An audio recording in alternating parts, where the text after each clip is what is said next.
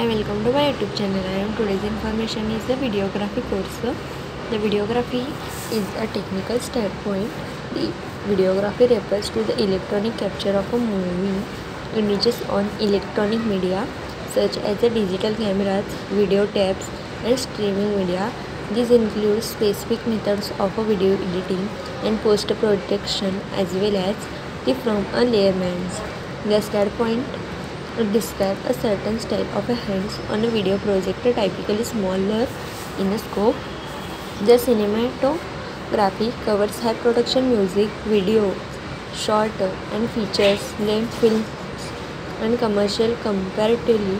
Videography is a usually short guidedly style required less artist direction than the standard of film production and is a shot digitally not shot on film stock the videography calls are the while both the capture motion picture, the difference between the cinematography and videography are dependent on a factor to find out what approach the best fits your project. Consider the your size and scope of the work, the size of a crew, the amount of a pre-production needed, uh, such as creative brainstorming, writing, scripting, creating and storyboards etc and who is uh, in charge of a creative direction.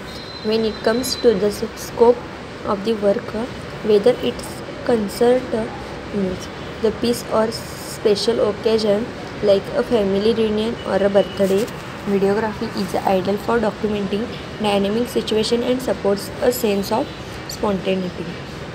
The videography is generated towards live events of a wedding or something that's not necessarily planned with a guide crew or any filmmaking setup that you usually see in a movie say as the professional filmmaker white ingram.